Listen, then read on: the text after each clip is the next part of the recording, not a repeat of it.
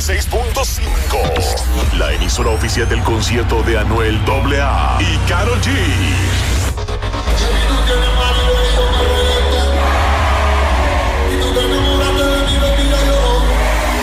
Ritmo 96. I like this one. Number one. In good concert. Son las 9, 3 minutos a ritmo de la mañana, ritmo 96.5. La mejor excusa para madrugar hoy es martes 14. Mañana se cobra, gracias a Dios.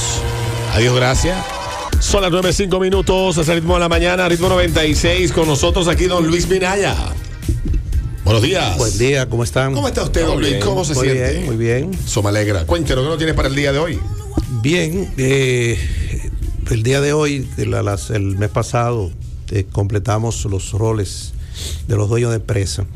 Hoy vamos a continuar con el, de alguna manera con ese tema, pero con algo que en función de las de la demanda que he tenido, de las últimas trabajos que estoy realizando, eh, sin darme cuenta, ahora me, me he encontrado eh, trabajando con dueños de empresas millennial. Entonces es como un algo novedoso, algo, de hecho, bueno, viene sucediendo desde hace mucho. Eh, pero de- tienen un estilo de trabajo diferente, tienen una forma de, de abordar la empresa de manera diferente y obviamente que también tienen sus necesidades. Entonces, desde el punto de vista del, del dueño de empresa millennial, que son estos jóvenes que tienen entre 27, 30 años y menos de 40, o frisando los, los 40, no llegan a ese, en ese rango de edad. Eh, y quiero enfocarme eh, con esa población en, dos aspectos de las cinco funciones del, del dueño de empresa. Eh, y es integrar el equipo y gestionar el equipo. Es decir, esas son dos funciones en las que los millennials van a tener que destacarse y van a tener que adquirir destrezas, recibir ayuda, recibir orientación y formarse eh, bien en esas dos eh, grandes habilidades. Obviamente que algo que en el caso del, millennial sí tiene que quedarle claro y es que su empresa, su organización, por pequeña que sea, debe estar preparada eh, y bien estructurada desde el punto de vista de la tecnología. Una empresa millennial tiene que destacarse por sus sistemas eh, de tecnología. Y no me refiero a tener un software de contabilidad, porque ya eso corresponde a, ya eso fue superado, o sea, tener un software eh, no es ya, digamos, de alguna manera la gran cosa. Eso es como decir que ya yo tengo Eso es normal. que tengo Facebook, que tengo un Hotmail, que tengo una cuenta. Bueno, se supone que tiene que tenerla. Eh, como que se supone que tu, que tu contabilidad tiene que estar, estar digital. Eso ya no es algo extraordinario ni algo que eh, vaya a sorprender a nadie. Entonces, si esa empresa millennial aún no tiene una estructura humana y una estructura de sistema inteligente, entonces ese es el primer gran desafío que tienen los millennial empresarios. Esto quiere decir que el millennial nació con el celular, nació con Windows 95, con Windows 98 y siguen después con Internet. Por lo tanto, así como ellos manejan su vida a través del celular, eh, y gracias a mi hijo, el mayor, que es el que me da todo este entrenamiento, de que, bueno, ya yo todo lo hago por ahí, si van a comprar es por ahí, si van con Uber es por ahí, eh, si quieren cotizar, si quieren pagar, viajar, todo lo hacen por ahí. Y eso está bien. El tema es que ahora eso hay que llevarlo a la parte laboral. Y justamente yo conversaba ayer con un millennial y desde su celular moderno me enseña, mira mi plataforma, aquí del trabajo, aquí está todo el trabajo que allá se hace. Eh, mira, aquí está el nombre de fulano, ese tiene asignado tal proyecto, aquí está fulano y tiene tal proyecto. Y si terminan aquí lo dice, entonces mira, aquí me dice también si ya eso está listo o no para facturación, qué tiempo tardó, etcétera, etcétera. Se le llama una mesa de trabajo, eh, algo así como un management project, en donde tú puedes visualizar desde tu plataforma eh, celular esa parte. Entonces, ese es el desafío número uno. Tienen que tener su empresa no solamente digitalizada, sino que tienen que tener software que sean capaces tomar decisiones con base a esos datos. Bien, si no tienen eso de esa manera, entonces ese es su primer desafío, preparar la empresa desde el punto de vista tecnológico. Eso significa que todos los servicios que se puedan ofrecer por ahí, facilitarle la vida al cliente, deben hacerlo por ahí. Los pedidos, como me decía esta persona, yo no, a mí no me pueden pedir una cotización y yo tardar tres días para hacer una cotización. No me pueden pedir hacer un pedido y yo tardar más tiempo recibiendo, ponme la orden, en lo que llega la orden, recibo la orden y proceso eso. No es posible. Entonces ese es el gran desafío. Bien, luego que ya la empresa está organizada de esa manera, una labor crítica siempre va a ser el integrar el equipo.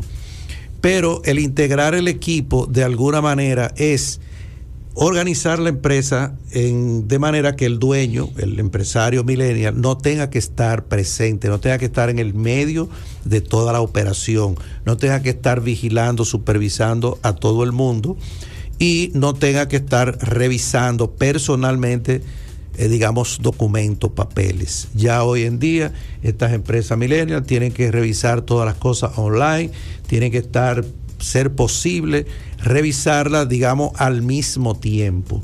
Eso quiere decir que una cotización que se solicita debe llegar a donde tiene que llegar y debe estar toda la información parametrizada de manera tal que hacer una cotización, por complicada que sea, debe hacerse de manera rápida.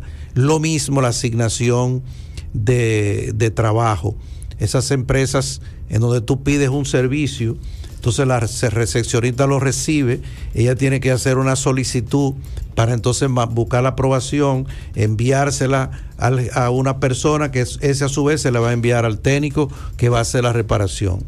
Cuando ya hoy en día eh, hay eh, software que pueden hacer toda esa distribución, o sea, una orden que llega el, mismo sistema busca el, digamos, el técnico que está libre o que puede hacer eso y se la redirecciona en ese, en esa, en ese sentido. Entonces, la labor de, esos empresarios eh, jóvenes es preparar esos líderes de manera que ellos puedan asumir la empresa. Y la pregunta es entonces, ¿qué va a hacer el, el empresario millennial? Estos empresarios millennials tienen una característica muy interesante y es que son muy emprendedores, muy visionarios, muy ambiciosos. Entonces, efectivamente, si el, empresario joven tiene ese perfil, pues lo que él tiene que hacer es ampliar negocios, traer negocios nuevos, buscar reinversiones, buscar el desarrollo de productos nuevos o mejorar lo que tienen. Entonces, para que el él pueda dedicarse a eso, pues tiene que liberar la mano y, tener más tiempo disponible para analizar datos, para evaluar informaciones y para tomar decisiones. Es decir, eh, claro, hay software hoy que son, que tienen ya instalado lo que se llama inteligencia de negocios que son software que te dicen a ti prácticamente lo que tú tienes que hacer con el, negocio, o sea, las decisiones que debe tomar en compra, producto, precio y ventas. Entonces la otra función eh, crítica es la de gestionar el equipo. Aquí eh, hay dos formas de gestionar un equipo.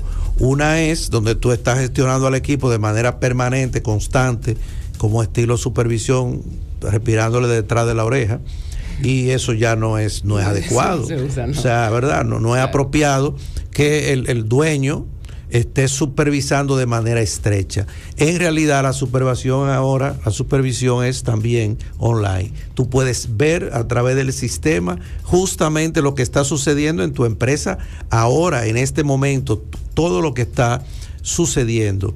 Entonces, esa es la supervisión que tiene que hacer el, el, millennial, el gerente, el dueño de empresa es millennial. Es decir, él debe asegurarse que todo lo que se planificó, que todo lo que se previó esté ocurriendo y preferiblemente debe revisarlo eh, diariamente, pero obviamente que debe ser algo fácil de hacer, algo sencillo, que no debe tomarle mucho tiempo.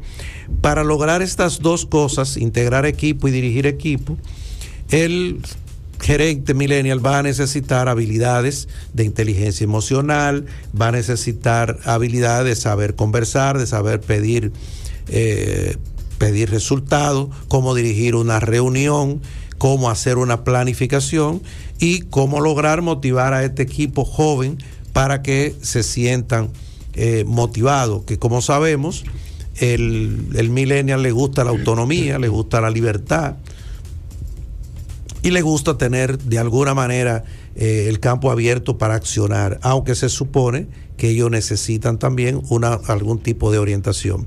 Entonces, en conclusión, el, empresario millennial de hoy en día, que tiene una actitud mucho más relajada, es más informal, se viste de manera diferente, es más cercano, es más abierto, eh, y es alguien como que tiene más accesibilidad que el, dueño tradicional y tiene menos suntuosidad, es decir, se le puede llegar mucho más fácil. Pero tiene que prepararse, sí, para dirigir a su equipo y desarrollar habilidades sociales que le permitan llevar la empresa de una manera más simple, más sencilla, sin descuidar y obviamente que cuando decimos que integre el equipo para que el equipo trabaje y formas fáciles de supervisar, en realidad lo que estamos diciendo es que el objetivo es que él tenga más tiempo libre para dedicárselo a desarrollar el negocio.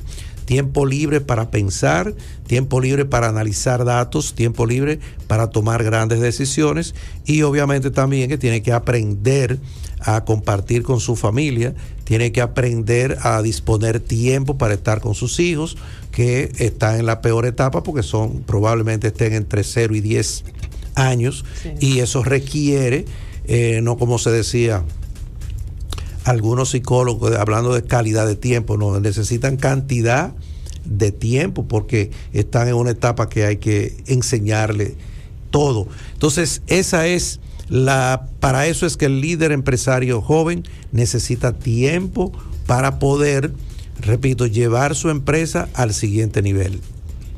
Bueno, pues gracias, don Luis Minaya. ¿Dónde la gente encuentra más de usted para que puedan escuchar, ver y leer lo que usted tiene disponible para ellos también? Sí, pueden visitar nuestra página, eh, luisminaya.com, luisminaya.com y puede también puede llamar a la, directamente a nuestras oficinas al 809-549-3380. Bueno, pues gracias a don Luis, como siempre, aquí todos los martes en el ritmo de la mañana. Venimos con más musiquita y cositas chulas luego de la pausa.